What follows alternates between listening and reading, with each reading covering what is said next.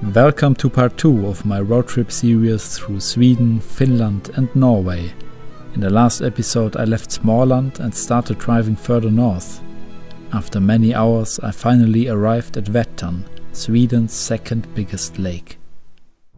The spot you just saw looks really cool, but too many other cars not abandoned enough for my personal taste, and so on. But this lake is gigantic, so let's just look for another spot.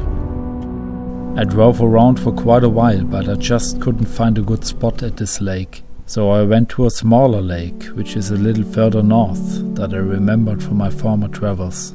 There I finally got some sleep. But on the next morning I woke up to the smell of smoke, and I should soon find out why. Somebody made a fire here, and everything is so dry that it's glowing on and on and on and it's basically eating itself through the dry ground. It's still smoking, the fire is still alive. Let's just put it out. Now you also get to see this very beautiful lake. Wow.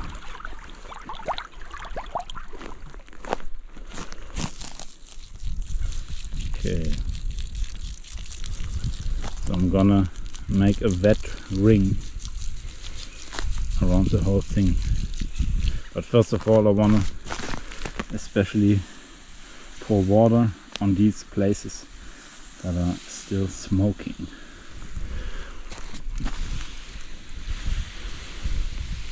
That's the danger of making a fire at these dry conditions. Maybe it was just good that I couldn't find another spot before I came here. I hear that? There's lots of heat.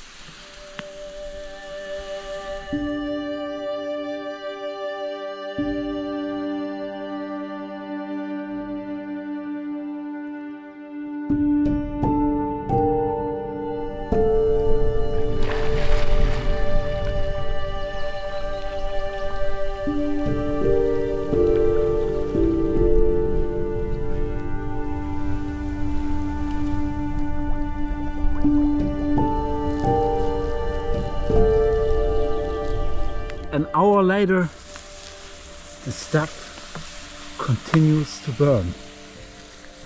I have now made several attempts to put out the fire, always filled up the bottle and watered the ground and I hope that now it's finally done. But there can always be some hidden spots of heat in that very, very, very dry soil.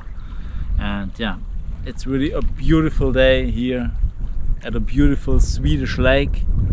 And evening is coming closer but it's still gonna be a long long time until the sun sets. It's around 6.30 now and the sun sets at something around 10 but uh, the light never fully disappears during the night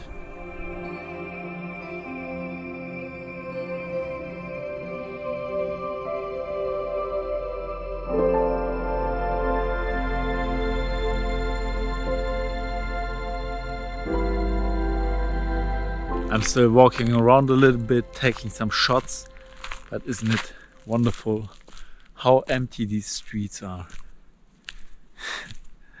I'm just walking around the middle of the street, no car anywhere. I already have a destination for tomorrow, but what that is, we'll see then.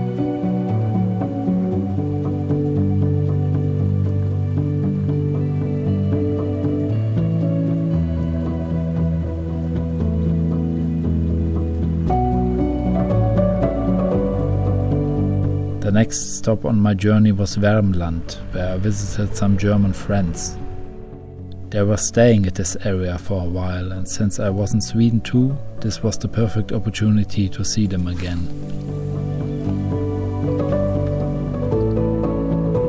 We spent much time in nature, fishing, boating, grilling.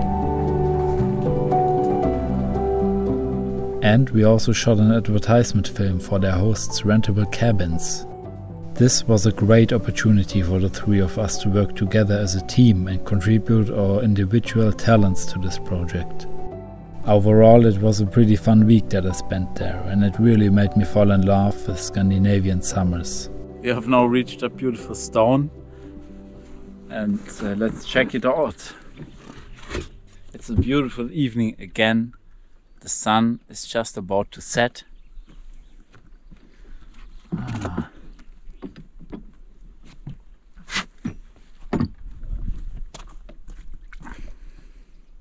Nice.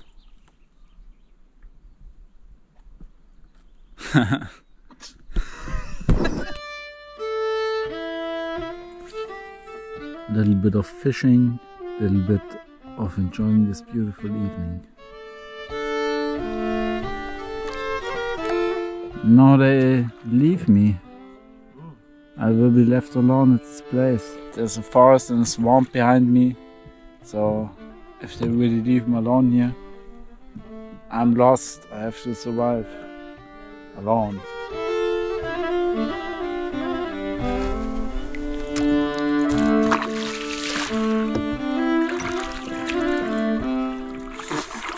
I have no practice in rowing at all, not at all, but not enough.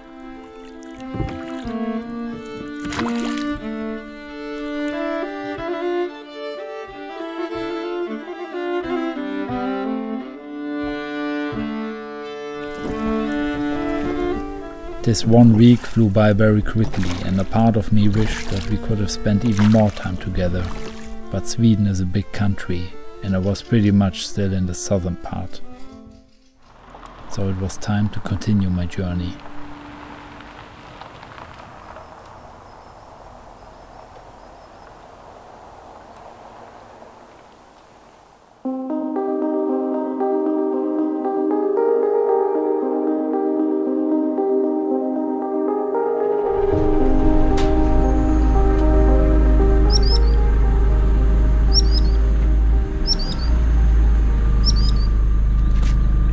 Sweet little birds here.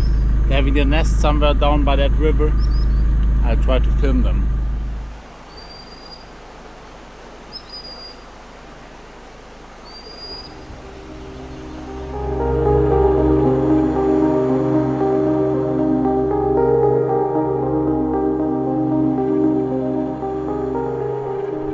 I'm so tired. I just took a little nap in my car and I've been driving this dirt road for an eternity to get to this place. Look how dirty my car is. But that's okay because it's a dirt road. And this place here was recommended to me by my friend whom I visited the last couple of days. And what kind of place is this? I'll tell you in a second. Wow, beautiful. Hey. I just shot some close ups of this beautiful butterfly, which is now flying away. And I'm so fascinated by it. Oh!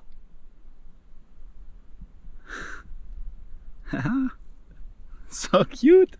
I'm so fascinated by the patterns on the wings. So, so beautiful and so symmetric and so perfect.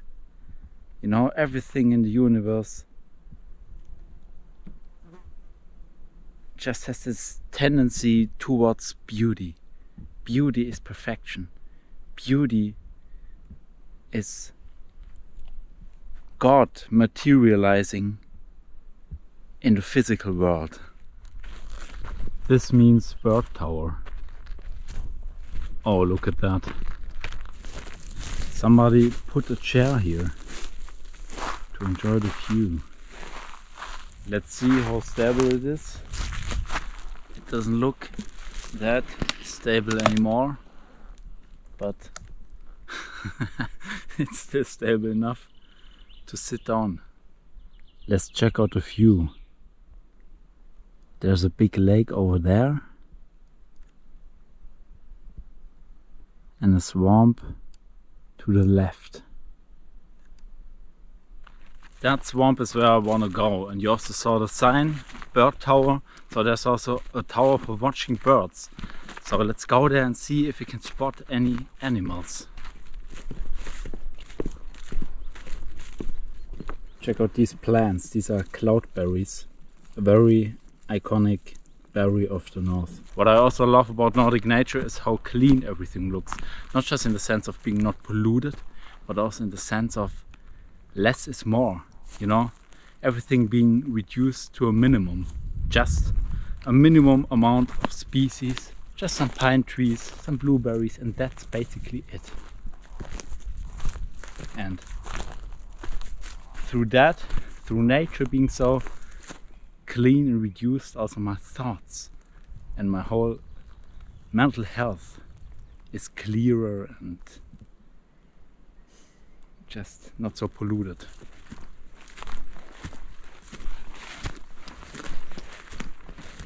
I'm just taking a little rest here and there are many insects flying around me.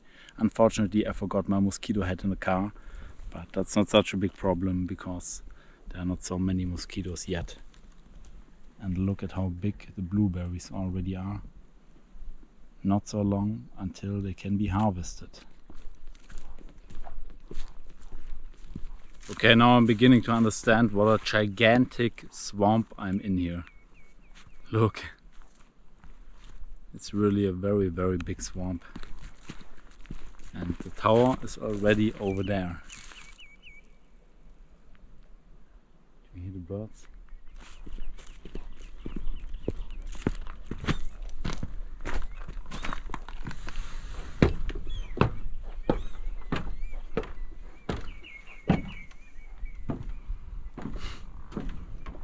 I made it. Let's take a look inside.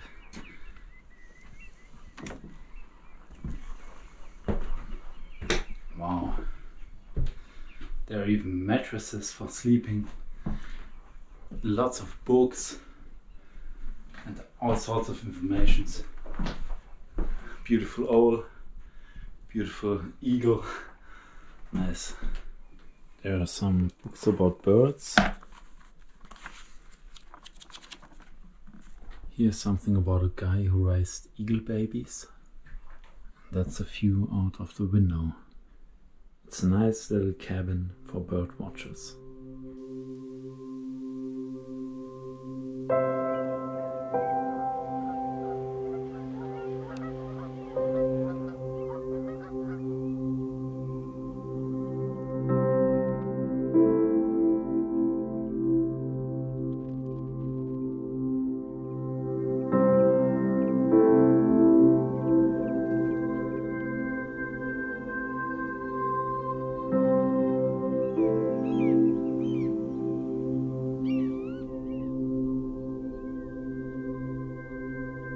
Sun will set in about one hour and I think about sleeping in this cabin tonight. Although I didn't bring a sleeping bag, but that's not so much of a problem because it is so warm in there because the sun was shining on the roof all day long. A much bigger problem is that I didn't bring any water with me and I'm getting really, really, really thirsty. And lying in there in a very warm box basically and being thirsty is even worse. I already opened some of the windows in there, so maybe it will cool down a little bit. There's also this little bottle with some water, but I'm not so sure about that water, and I'm also not so sure about that bottle at all. But uh, it looks really beautiful, especially with the setting sun in the background.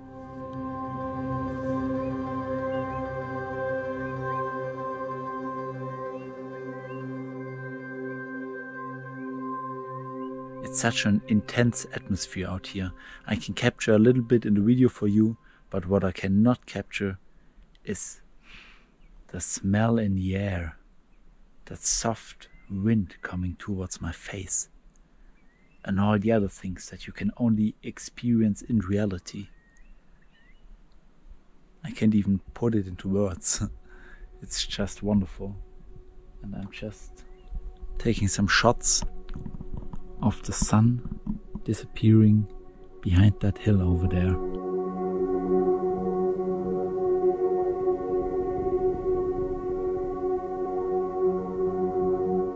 And look at that clear water in the lake.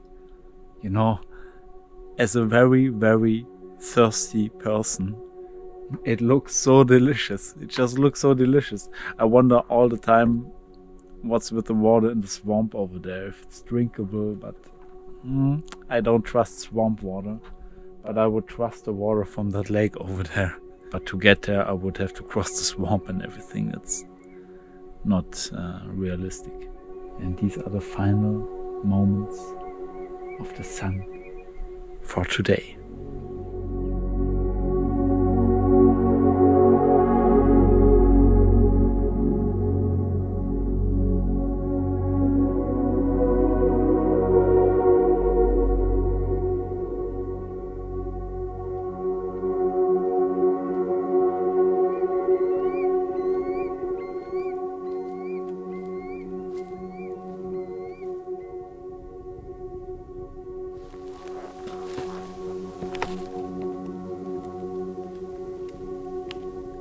Taking a little evening walk in this wonderful light and I was already wondering how is it possible that there are only so few mosquitoes at this place? Isn't a swamp basically mosquito paradise? But right now that it's getting darker, more and more mosquitoes are flying around. But it's still not that bad.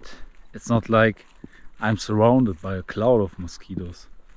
So yeah, maybe Maybe it's just not as bad as everyone is saying, or maybe the worst is yet to come. We will see further north or in two weeks or whatever. We shall see. But for now, I just want to enjoy the privilege of being here.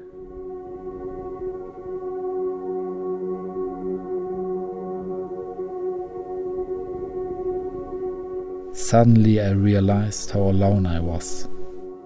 The only companion I had out here was nature.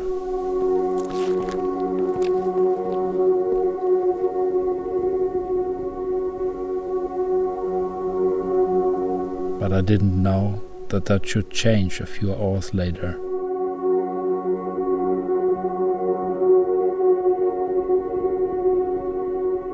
Are so many interesting and also weird noises coming from all different directions, despite the mosquitoes. So I wonder what animals make these noises and what animals are also around in the swamp and in these forests that I haven't seen yet. I mean, of course, there are big animals like mooses, but maybe also bears, at least even uh, in regions that are more southern than here there are bears so it is very likely that there are also some bears around in this region. I'm not sure but it's very very possible. So let's better go back to the cabin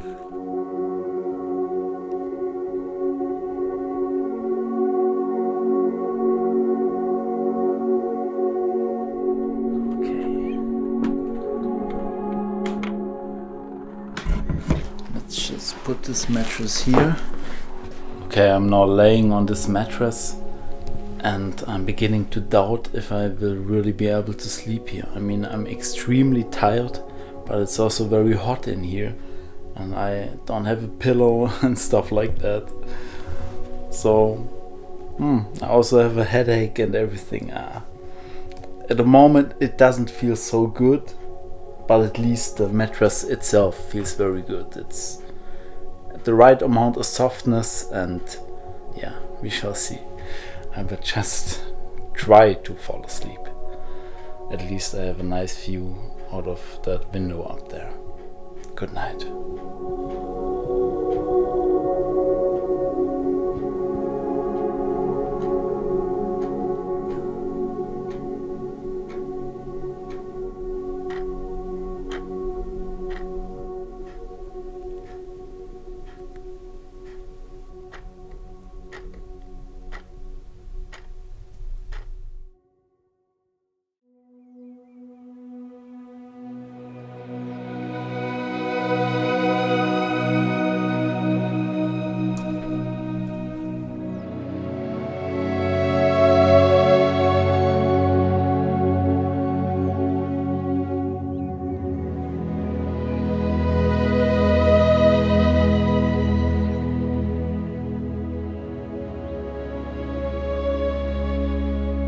morning. As you can see, I'm already on my way back.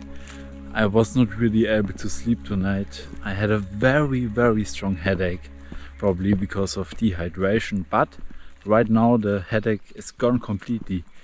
It went away at around 4 o'clock in the morning, just when the sun rose. It was a beautiful sunrise, and it was also at that moment that an elderly bird watcher climbed the tower and we talked a little bit. It was a very nice man and it was really cool. He showed me an eagle that he had zoomed in on and yeah, it was a beautiful animal.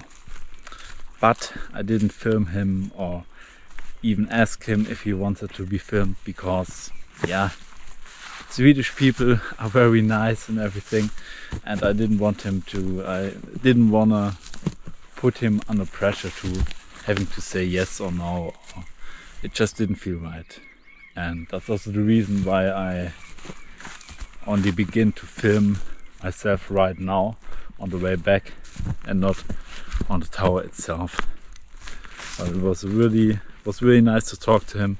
He told me some interesting things about his life and yeah we didn't talk that much but the little conversation we had was very nice.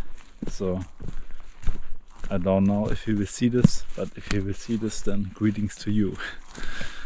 and yeah, now I'm walking back through the swamp.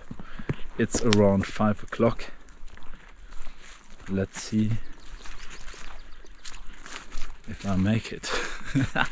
I don't know what to say. Of course, I will make it. Oh, and I asked him if there are bears in this area, and he said yes lots of bears in this area. So my suggestion was right. It doesn't surprise me at all.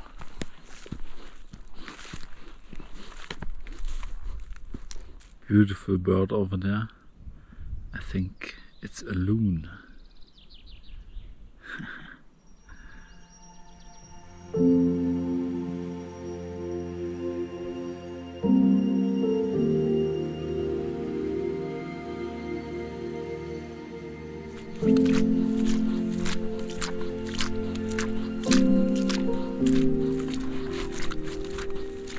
Very special smell in the air. There must be some plant that's growing here that causes that. So fresh and natural.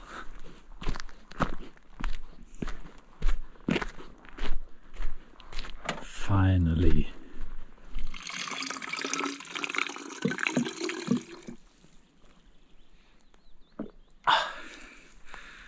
My body needed it.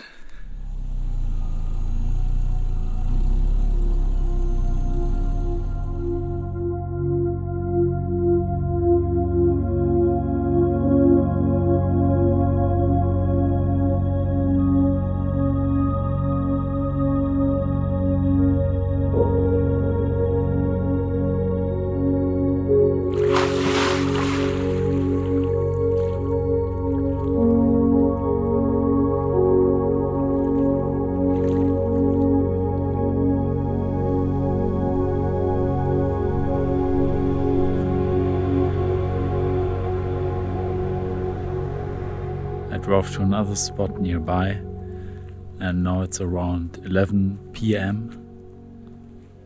and it's so beautiful. Look how bright it still is. I don't even want to go to sleep. I mean, I really should go to sleep, but I enjoy being awake because you have the loneliness of the night, but you still have light. And that is an absolutely magical combination. I love it. I'm so excited to drive further north and see what it's like there. You know, where the sun is actually still shining through the whole night. I can't wait for it.